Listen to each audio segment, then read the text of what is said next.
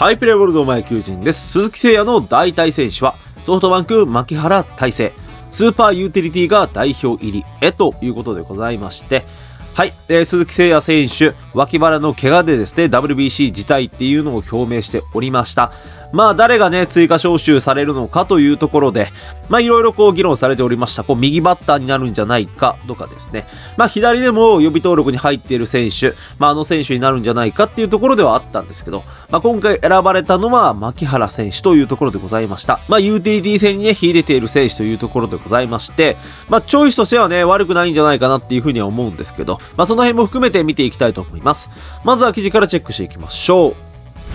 はい、ソフトバンク牧原が侍ジャパンに追加招集。日本野球機構は1日、アメリカ大リーグカブスの鈴木誠也外野手が左脇腹の張りで WBC 日本代表を辞退したことを受け、ソフトバンク牧原大成内野手を代替選手として招集することを正式に発表。牧原合わせに代表チームに合流したということでございます。阪神の近本外野手らも候補に上がっていた中、高野ユーティリティプレイヤーに白羽の矢が立った。眼前のアピールも決め手だった。2月25日、26日に行われた走行試合に牧原はソフトバンクの1番センターでスタメン出場。初回、佐々木朗希から2塁内野安打で出塁すると6回には沢宮城を相手に右翼線に敵地2塁打を放った。昨年規定打席にあと2打席届かなかったが120試合の出場で打率3割1厘、6ホーマー42打点の数字を残し、センターとしても64試合出場。攻撃面での収束高打に加え、内外や守れる守備力も魅力、三冠王の村上を筆頭に、山川岡本ら長距離打者を集めたチームの中で、屋台骨を支える存在にもなりうると。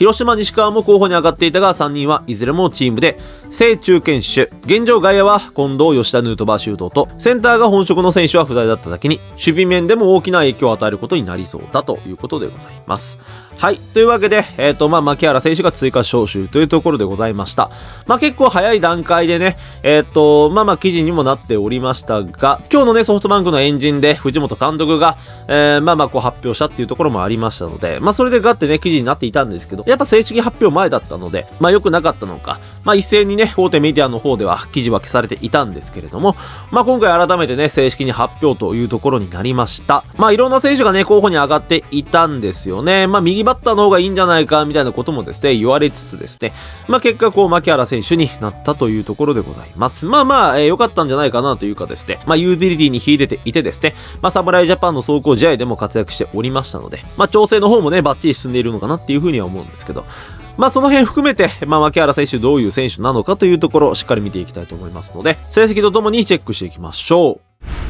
はい、牧原大成選手、プロ13年目になります。出身地は福岡県1992年10月15日生まれ30歳、172センチ73キロ。ポジションは外野、内野を守る右投げ左打ちの選手です。2010年育成ドラフト5位指名の選手でございまして、今季年俸は8000万円、昨年は4500万円となっております。育成入団ではありますが、1年目から2軍で好成績をマークし、翌年の2年目には早くも試合化登録を勝ち取ると、1軍デビューも果たしました。しかし、そこから中田が1軍での出番に恵まれず、主に2軍での出場が続いておりました。それでも2018年後半から起用が多くなると、翌年は開幕1軍をつかみ、114試合に出場。その後もユーティリティとして1軍で活躍を続け、昨年は自己最多の120試合に出場し、打率3割1厘と好成績をマークしていたというところでございます。はい。えー、まあ、この牧原選手ですね。育成出身で、高卒2年目にはですね、試合化登録を勝ち取っていたんですよね。まあ、そのくらい早くからね、まあ、光るものを見せていたというところでございます。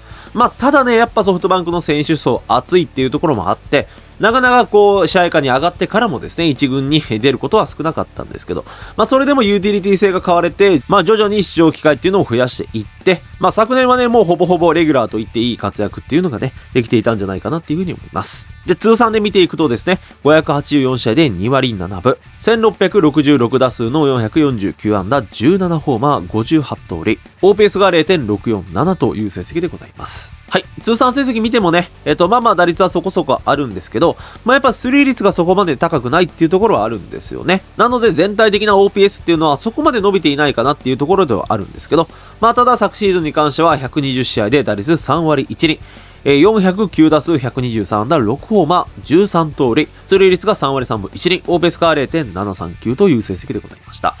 はい。まあ、昨年惜しくも規定打席には届かなかったんですけど、まあ、それでも、えー、規定近く経って、えー、3割というところでございます。えー、ホームランも6本打ってですね、長打力っていうところもですね、ぐんと伸びていたシーズンになったのかなと。まあ、スリー率の低さっていうのは変わらないんですけど、まあ、それでもベース0.7中盤くらい残しているので、まあ、本当ね、十分な成績っていうのを残しているんではないでしょうか。まあ、さらに彼の魅力としてはですね、いろんなポジションを守れるっていうところですね。昨年はですね、センターで444.1イニング守っておりました。まあまあ、センターをね、一番多く守っていたっていうところもあるんですけど、で次にセカンドで305イニング。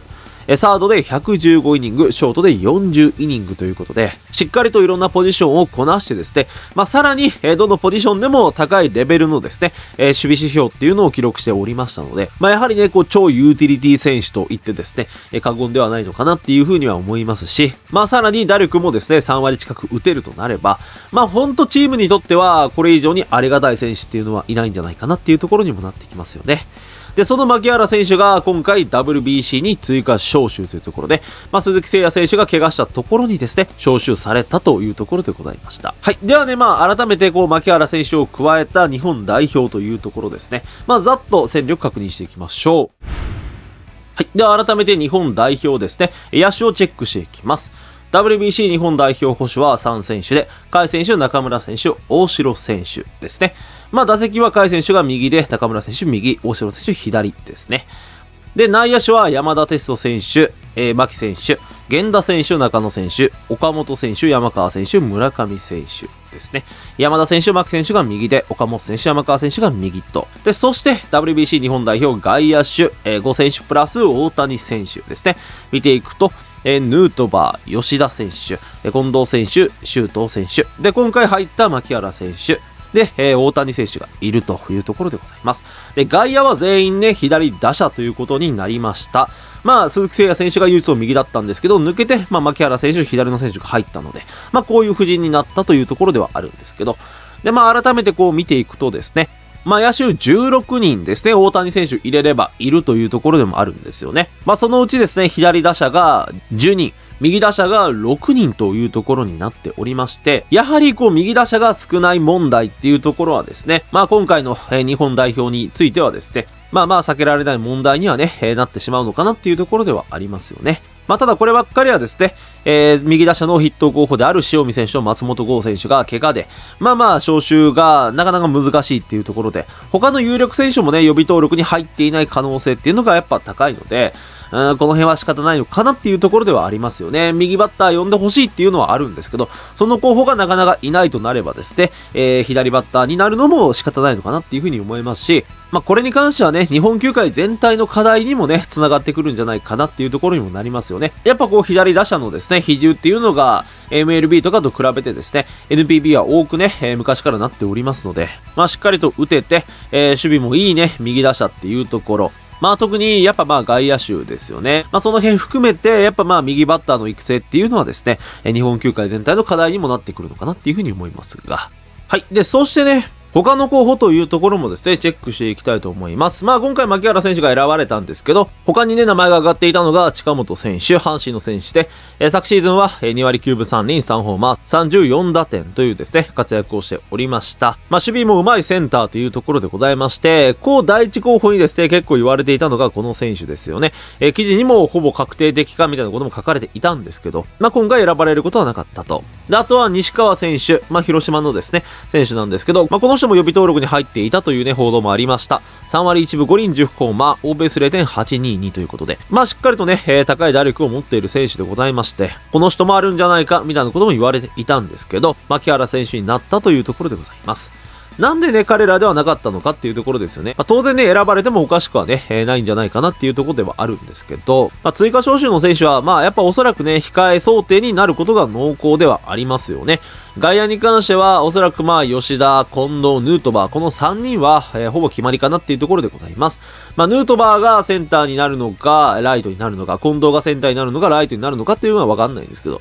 まあまあ、ほぼほぼこれでいくんじゃないかなっていうところでございます。まあ、そんな中、外野専門の選手よりはですね、内野も守れる牧原選手の方が、周東選手や他の内野手のダイソーなどの起用の幅がですね、ぐっと広がるので、まあそういった意図もあるんじゃないかなっていうふうには思いますね。まあ今までの布陣だとですね、え、っと、まあまあこう、勝負どころでですね、じゃあダイソーを出そうとなっても、まあ周東選手をこうダイソーに出してしまったらですね、まあ外野の控えっていうのもいなくなってしまうよというところでございました。まあかといって中野選手をこうダイソーに出してしまうとですね、まあ今度はちょっとね、内野が少ないよっていうところにはなってしまいます。まあここに牧原選手がいたらですね、こう場面とか関係なくいろんな起用法ができるんじゃないかなと。まあダイソーだけでなくて守備固め、えー、代打っていうところもですね、牧原選手がいることでいろんなね、こう潤滑にになってくれるんじゃないかなっていうところはありますよね。まあそういうところもあってね、牧原選手は今回選ばれたのかなっていう感じはいたしますが、まあまあとにもかくにもですね、えー、この夫人で3月9日の初戦が行われるというところでございます。まあほんね、今から非常に楽しみかなっていうふうに思うんですけど、あと1週間ちょっとというところ、まあ3月に入ってね、メジャーリーガーっていうところも、まあ、チームに加わるというところでございますので、まあ本当ね、一丸となって頑張っていただきたいなっていうところでございますが、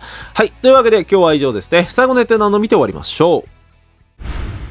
はい。ではネットでの反応を見ていきましょう。牧原はこの時期に選ばれて大変だと思うけど、本当を受けてくれて感謝だわということですね。はい。まあそうですね。えっ、と、まあまあ WBC まであともうちょっとっていうところになってます。まあ開幕もね、近いっていうところもありますので、なかなかね、えー、この時期に選ばれて本当大変かなっていうふうに思うんですけど、まあまあ来てくれて感謝だよねというところですね。まあこう予備登録に入ってる時点でね、まあまあある程度その辺も了承してっていうところだとは思うので、まあどの選手であってもですね、まあ呼ばれたら行きますっていう感じだとは思うんですよ。基本的には怪我してるとか以外だと。まあなんですけど、まあまあやっぱ大変なことには変わりませんし、牧原選手自身も、まあ今年はね、しっかりレギュラーとして、えー、活躍するっていうことをですね、掲げておりましたので、チームから離れるっていうところは、まあリスクにもね、なってくるんじゃないかなっていうふうに思うんですけど、まあまあでもね、えー、しっかりと参加してくれるっていうところでございますので、えー、まあ本当ありがたい限りかなっていうふうに思いますので、まあぜひね、持ってる力をしっかり出していただいて、えー、戦力にね、少しでもなっていただければなというところではないでしょうか。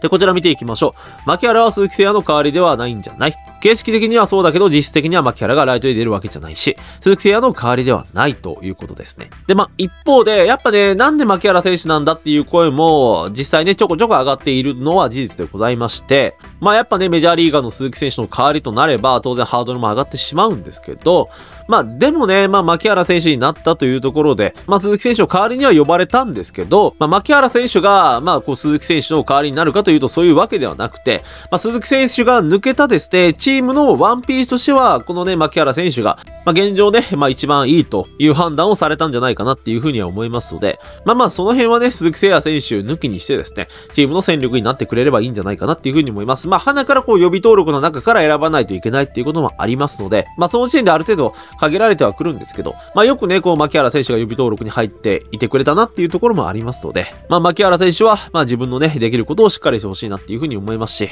まあやっぱ彼が入ってくることによって、えー、まあ間違いなくこう、鈴木選手が抜けていたチームの状態からはプラスになってくれるんじゃないかなっていうふうには思いますので、まあこの牧原選手を加えた30人でですね、しっかりと WBC 勝ち上がってほしいなというところでございますが。はい。では今日は以上ですね。よければチャンネル登録、コメント、高評価などいただければ嬉しいです。野球人でございました。背のゲームセット。